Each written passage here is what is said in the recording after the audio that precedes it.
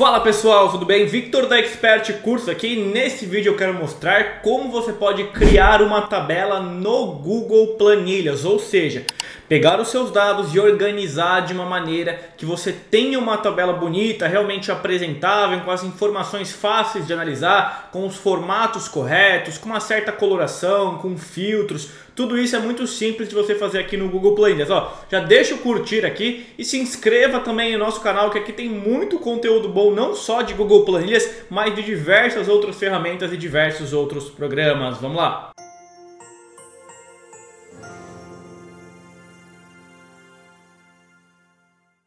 Nós estamos aqui no Google Planilhas e quando você vai montar a sua tabela, quais são os passos? Primeiro você precisa pegar os seus dados, a sua base de dados, as informações que você tem às vezes num, num papel, num caderno, que alguém te passou, alguma coisa do tipo, e você precisa digitar essas informações nas suas linhas e nas suas colunas. Você pode ver que eu já estou com algumas informações, até se você quiser seguir na aula comigo, né, você pode digitar a mesma coisa que eu, né, pausa o vídeo aí um minutinho, digita isso aqui rapidinho, ou caso você tenha os seus dados, a gente já pode seguir aqui tranquilamente. Então depois que você digitou os seus dados, a gente vê que eles vêm todo, é, fica tudo bagunçado, né? Texto, número, não tem nenhum tipo de formatação. E aqui no Google Planilhas, um pouco diferente do Excel, a gente não tem a opção de inserir uma tabela, né, de criar propriamente uma tabela customizada. A gente só tem a opção de tabela dinâmica, que é uma outra coisa, uma, uma, uma, parte mais avançada que a gente não vai entrar nessa aula, não é o caso do que a gente quer aqui. Então a gente não consegue propriamente gerar uma tabela apenas fazendo esta seleção. A gente precisa ir passo por passo. O que, que, a gente pode fazer primeiro? Eu vou clicar com o botão esquerdo na A1, vou arrastar até o final, aqui até a F10, até o final dos meus dados. Você pode também selecionar todos os seus dados. E o que, que a gente pode aplicar aqui? Ó? Primeira coisa, é, caso você tenha talvez aqui ó, colunas muito estreitas, você vem ajustando propriamente a largura. Se você clicar com o botão direito aqui, ó, redimensionar coluna, nós estamos com essa largura de 100. Vamos supor que eu quero uma largura de 120 em tudo. Eu posso selecionar da A até a F, botão direito, redimensionar, vou colocar aqui ó, 120 e vou colocar um OK. Então eu mantive um padrão. Normalmente a largura das colunas é interessante ajustar. Com as larguras ajustadas, vou selecionar todas as informações que eu tenho, vou clicar aqui na parte de bordas e vou colocar todas as bordas. Vou clicar aqui ó, em alinhar na horizontal e vou alinhar ao centro. Só isso aqui já dá quase que uma cara nova aqui para nossa tabela. E aí quando eu dou um clique fora eu perco a seleção, certo?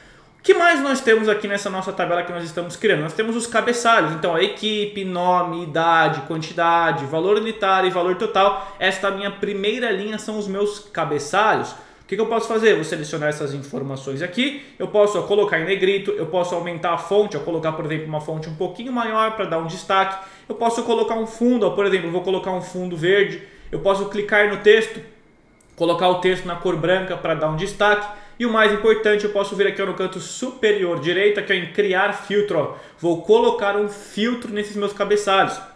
Pois quando eu clico aqui, eu tenho opções de filtrar né, de A a Z, por cor, né, propriamente pelos valores que a gente tem. É muito interessante também quando nós estamos criando uma tabela. E só nesse momento da aula ó, já ficou muito legal essa nossa tabela. Mas vamos lá, o que mais a gente pode melhorar? A formatação de algumas células. Por exemplo, quando eu clico numa célula, eu clico aqui ó, em mais formatos, a célula vem no formato automático.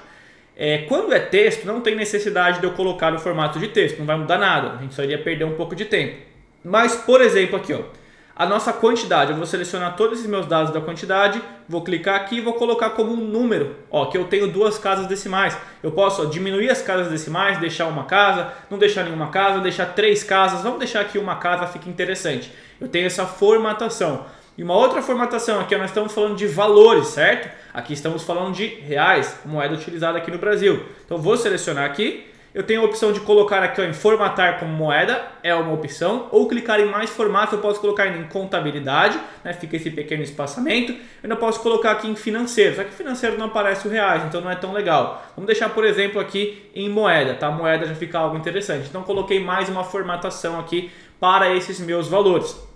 Olha só o que aconteceu desde o começo da aula, aqui em pouquíssimos minutos, até esse momento da aula. Nós tínhamos dados desorganizados, bagunçados, sem formatação e agora nós temos uma tabela organizada aqui no Google Planilhas. Isto aqui é uma tabela que o Google Planilhas chama de tabela. Aqui embaixo nós estamos na nossa página 1. O Google, Google Planilha se chama de página e nós estamos dentro dessa nossa planilha sem título. O Google Planilha se chama todo esse arquivo de planilha. Eu posso colocar aqui, por exemplo, planilha expert cursos. Apertei o enter e acabei de mudar o nome desta minha planilha. Mas o mais importante da aula agora você não tem mais dúvida como você consegue criar uma tabela no Google Planilhas, ou seja, organizar todos os seus dados. E se você gostou dessa aula né, e você quer seguir estudando conosco, você não pode deixar de conferir o nosso curso completo de Google Planilhas. Vai desde o básico até o avançado, na criação de tabelas, diferentes tipos de gráficos, utilização de funções básicas, funções avançadas,